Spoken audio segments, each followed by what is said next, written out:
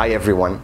Walking the streets in the Netherlands right now, you are bound to see the flag flying, accompanied by a school bag to indicate that someone in that household has graduated.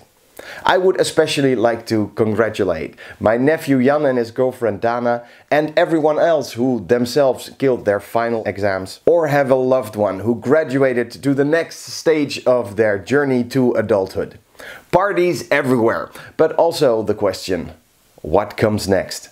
Prepare for college, travel, or dare I say it, start looking for a job. This week I am playing a game that takes a very literal approach to the term killing it at your temp job. This week I am playing Temp Worker Assassins.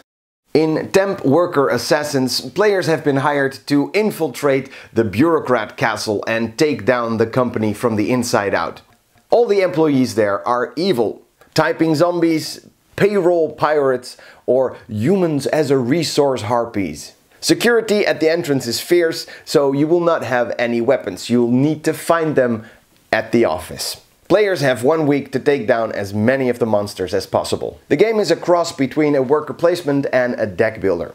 Each of the five weekdays you spend all your workers to grow your hand cards and your deck with nifty things like the remarkably heavy calculator or the pointy-edged clipboard to try to build up your attack to beat the monsters one at a time. Every game you can use different departments to give every game a unique feel and it is surprisingly fun. It has some very funny but bloody artwork, but I really enjoyed this one. Temp Worker Assassins. My name is Dave Luza. Thanks for watching.